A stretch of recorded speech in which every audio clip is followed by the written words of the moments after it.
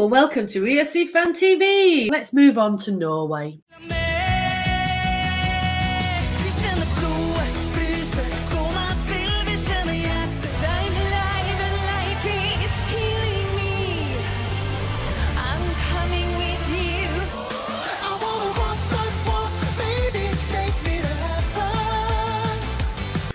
Let's go to Sean. I thought the staging was similar to friend of a friend of a friend of a friend with the boxes and the colours and uh, yeah, it was okay. Istra, Waltz of Death. I'm a bored to death. It was bloody awful, just a mess. And I don't know who's washing they were they were drying out on the on the line during the performance, or speak see through knickers that they were dancing through or whatever. But take me to heaven. I thought it was a thoroughly decent pop song. Nothing wrong with it at all. I love the, the coloured boots that the dancers were wearing. I love the outfits. That high note that it hit, superb. I'll happily dance along to that in the clubs. Half decent songs, apart from Waltz of Death, which I thought was pile of crap. Go to go on, Phil. Oh, okay. See, look, I knew he um, wasn't ready. Yeah, I don't know. Vida Villa was that? Uh, Yeah. Mare? It was a bit too sweet for It me. was nice I and like this, I like the matching suit. It was. It was nice, jolly pop I've got song. gin All on my very glass, sweet. Uh, needs a bit more oomph, I think. Would it take me to heaven? I kind of missed that one. I don't know. What do you think? Really? Oh my Yeah. god, I loved it. I, I- thought it was like as camp as Christmas, the song and the performance, and I thought it was brilliant. Mr. Waltz of Death. It was, yeah, another goth song. And, the, you know, the bloke playing the guitar looked really sinister, but she looked like she was dressed to sing a completely different song. Yeah, And I don't know what's going on with the plastic sheets. Didn't have enough impact. It was no We Come Alive, was it? That was the problem. yeah. I think if you're going to do a sort of gothy type thing, you need to go full goth. You can't just sort of go half goth. It's like she turned up and, and went, "Oh shit, are we doing all the makeup today? I, I, I forgot." Mm. And then it's you sort of stuffed, aren't you? You're neither here nor there. Thomas, Thomas, you bring us back to normality. Uh, two of these three songs reminded me of someone in this group in EC Fan TV. Vida, it got me thinking of Tom. Tom would have loved this song and it reminded me of a ESC classic, Justice for Landevine's Hilda. It was just up his alley. It was ju- just a catchy song. I, I, I, really enjoyed it. I really enjoyed it. I think it was good. Mistra, I didn't like that one. Uh, I think it was confusing. It, it looked very cheap with those plastic thingies. Yeah. Thomas Jensen, Take Me to Heaven. Yeah, it was a good song, catchy uh, chorus, good singer, good performer. Uh, he really hit that high note. That was impressive. Yeah. But uh, the best of these three for me was uh, Vida Villa. So let's go to Brendan. Brendan, Yeah, so uh, uh, Vida Villa. Um, yeah, I, I wrote Meh down as well, Sean. Um, however, it, it did have a good beat, and it was my favorite out of these three. And I did like the drummer's mustache. If I could only get one of them, it'd be something. uh, Waltz of Death. All I could think of is that's where my bin bags went from the storm last week. It was just why were they there? It made no sense.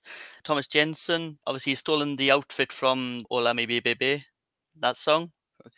a good pop song, a good performance, and obviously hit the high notes. So let's go to Donna. I thought they were all pretty good in their own way. I'm gonna give Mistress some love, right? it was just creepy enough that it was it was great. It was like she'd set up crime scene investigation with all that plastic sheeting in the background. We were going to see who was dead any minute, and there was all this scurrying around of like um the grey dancers in the background. And I think it would work better if she did a duet with Gothminister and left the the guy with the kiss makeup out of it because um, he really shouldn't have had the kiss makeup. It that's what made it not work. Thomas Jensen, atypical dance pop song. I mean, his vocal was stunning though, and that high note, as everyone keeps mentioning, it was brilliant. So he probably stood the best chance to kind of get through to the final, but I was surprised he didn't. Yeah, staging and outfits though, not so great. Vida Villa was another one I really liked as well. Like with Thomas, it was it was a little Lake Malawi, but they needed to look at the camera work a bit better. It was catchy. I liked it. Chorus was repetitive. It sank in my brain. Yeah, I like your little happy face then, Donna. That was lovely. Yeah. Oh. Eileen, you finish up with this for the best of the rest. What do you think? the Vida Villa with Mayor. Um, I really liked it to be honest. Um, I don't know, b- it was because it was in Norwegian or it just kept you watching because there was so much constantly going on. And then the Thomas Jensen from uh, "But Take Me to Your He- uh, to Heaven," um, like um, Brandon said, "Hola mi baby." Like I was like, they were inspired by "Hola mi baby," and they made a little twitch and they just rolled with it. Um, I liked it, but I thought it was not good enough. Mistra with Waltz of Death. It's like if you order Kiss from Wish and you get that. You're just waiting for something to happen during that song and nothing happens. Like, give me Gothminister any moment of the day, but that, no, just no for me. Let's have a look at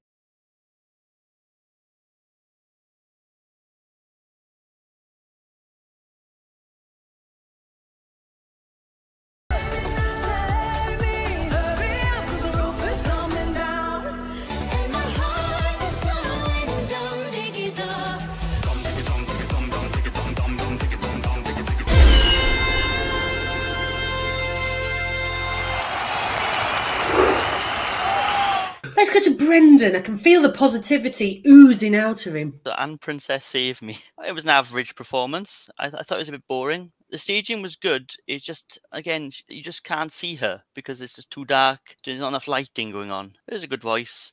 Uh, Mia Green Lights. I thought it was a very sweet song. I quite liked that. It built very well, but I feel like she could have benefited from backing dancers. KEiiNO.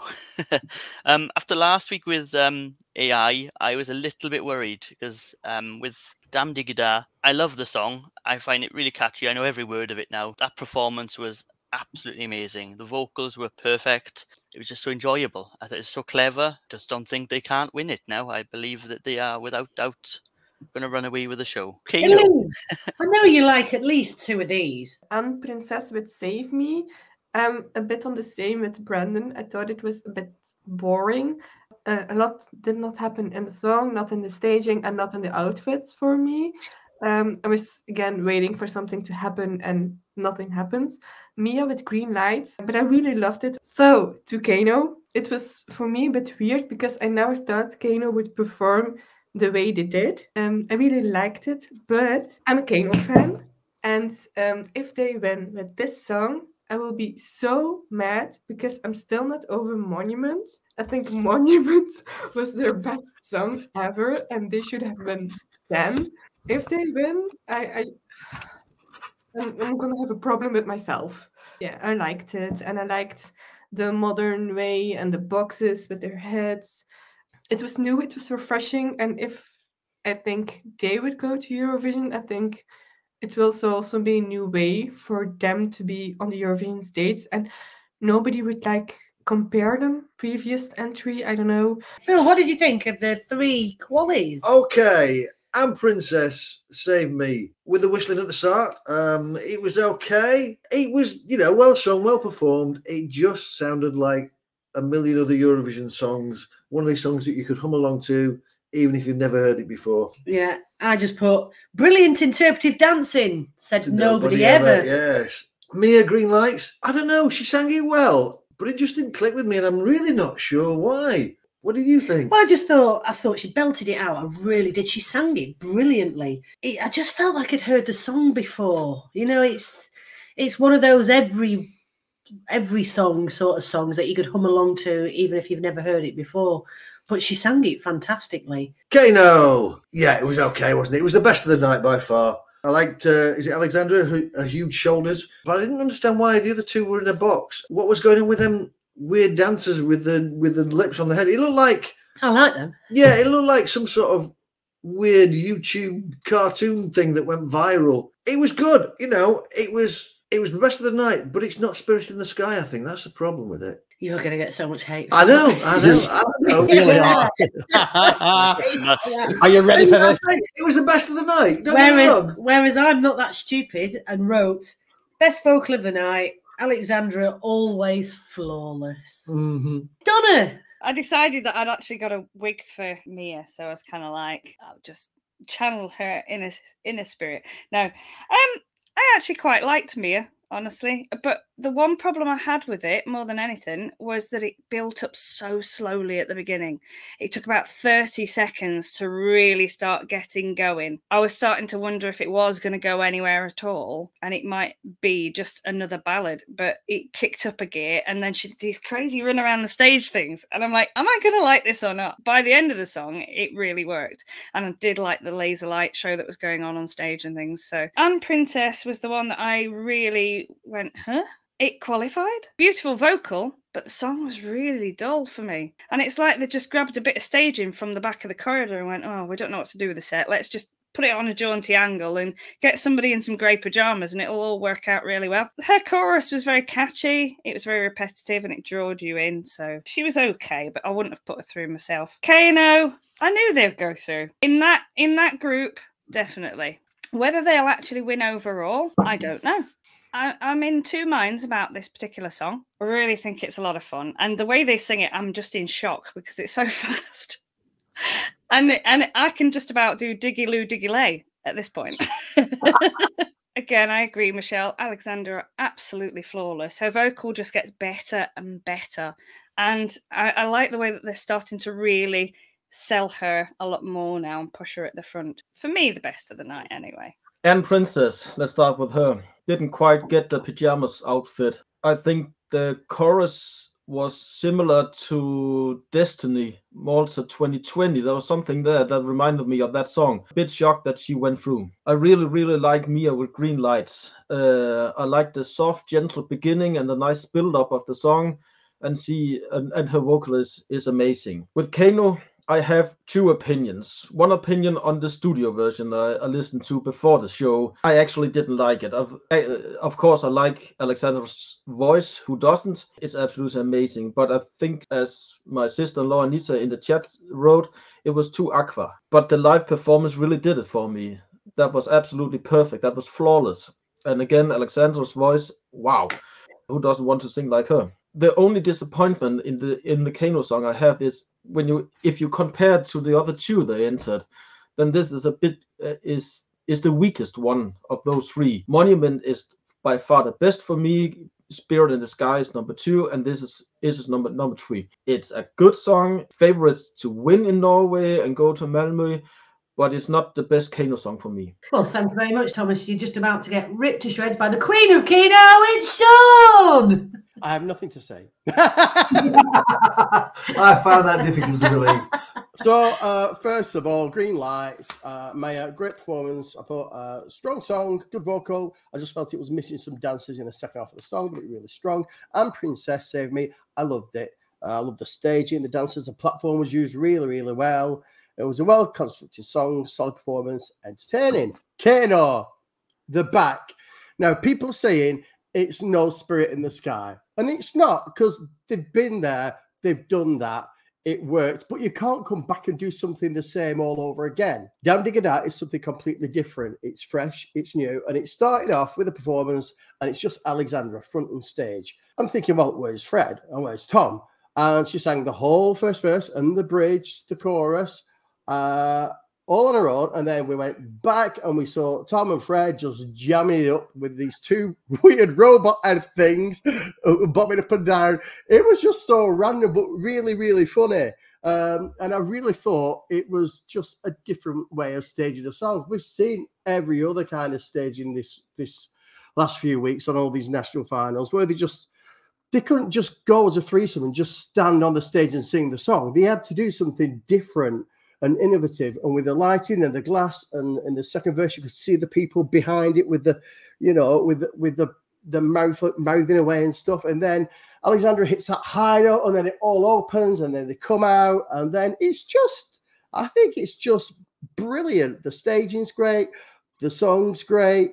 I think it is going to win Melodi Grand Prix, and I'll be gutted if it does because I'm not going to Malmo for Eurovision, and I'd love to be there to support them if they if they actually represent Norway.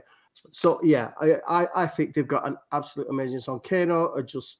I, I think they're just great. Fred was a rapper before. Um, he used to um, sing the Yoiks, and it, it's just a great song. It, it's fab. Damdiggida. It means this thing that makes you feel good. And for Alexandra, she was saying that is being on stage with KEiiNO. And the good thing about KEiiNO is that you can tell that they love each other, the chemistry that they've got together. It shines through um, to the audience that they're performing to, whether that be in a live venue or in a TV studio. And you just feel the love as, as you know, from from KEiiNO coming across. And I just think there's something really nice about their relationship and the band. And I think they bring something fresh and new. And this is something fresh and new. And they've been doing this five years. This is a kind of song that they've not done before. I think it's brilliant. I think it's really, I love it. I love it. I love it. Thank you very much, Sean. I knew we could rely on you to end on a high note. Bye. Bye. Bye.